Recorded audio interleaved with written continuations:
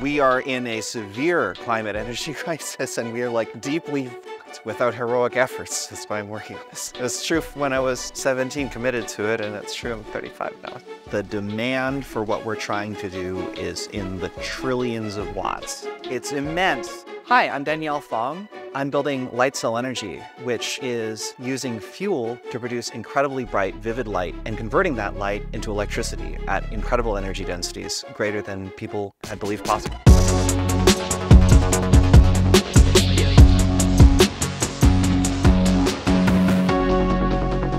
I was always interested in, in the universe and big numbers and space was incredibly attractive to me. I was at a, a steel mill I remember it was so hot in there, and I remember walking past a column and my face went cool, and I'm like, ah, what that means is it's actually infrared, and that's a shadow. I remember running a calculation to see, hey, how much energy could a solar panel generate if it were face down, facing this, versus if it were outside? There was something on the order of maybe 10 times as much power. So that put me in a frame of mind of, I can convert heat into electric power. At the same visit to a steel mill, I noticed that there was a flame and it was green. Like, what's with this green flame and they're like, oh, it's probably some copper. Interesting. So I'm looking up why fireworks are different colors, why flames are different colors before the 4th of July. And then I went and saw the 4th of July. I was seeing these plumes of fireworks go off and light up our faces. And they were like half a kilometer, kilometer away. My God, what is the actual brightness limitation? Like what's the power density of a firework? It must be immense. And because it's a vivid color, that means it's nearly monochromatic. So how monochromatic can it get? I found that in particular sodium flares, it was emitting almost all of its energy in a tight band around 589 nanometers.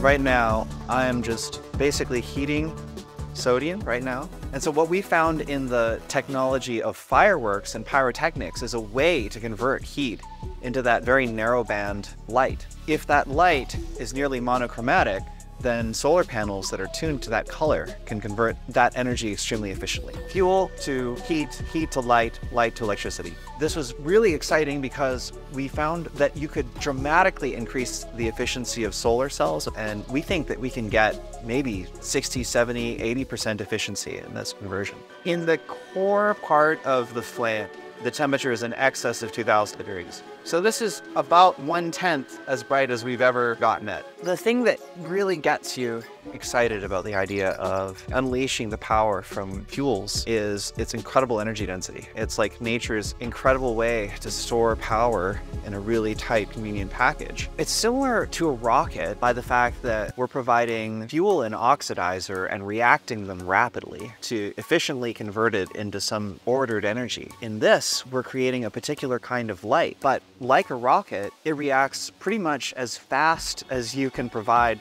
the fuel and the oxidizer. That's really one of the keys for how the power density can be so high.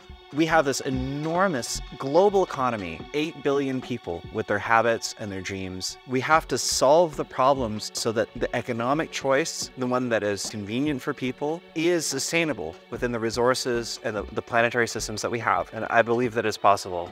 I really think that if you have really small, compact, completely sustainable energy sources everywhere, there's just huge applications that people haven't even dreamt of yet. AI making its way into the world. Usually robotics are pretty duration limited. AI and extremely high energy density energy systems, they're kind of self-reinforcing.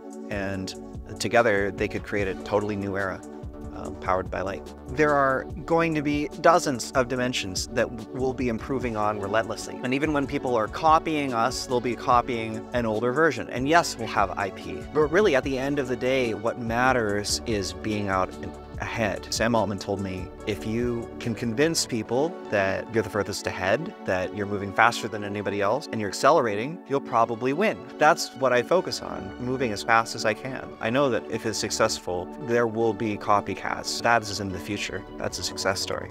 So it doesn't bother me that the idea will be visible. Uh, it's time for that. There are some number of bright ideas that you need to have to make any of these things work. And three co-founders and two contractors, and I've, I've got my family for some sort of additional slave labor. So we have to judge carefully what the important things for convincing us, convincing investors, and convincing customers are in terms of, of the technical pieces, because we can't do everything at once. We haven't figured out all of the answers for how to build a practical system yet. So far, far, we've shown that we can build an incredibly bright source, more than 60 times the brightness of like the day sun. Can we make a guess as to what can be done in six months? It is basically based on vibes. Say, all right, we've accomplished this much. Here's the stretch goal that we can set, and then you can run towards it. And you set up the company so that you're not dead if you can't do it. Now we're working on continually refining our, our, our scientific understanding of the materials, the reaction process that takes place, and the flows, so that we can develop the engineering design rules to build this kind of pocket furnace, this portable Dyson sphere, your own personal sun, turn it into electricity, which is the most valuable and useful power for our electronic world.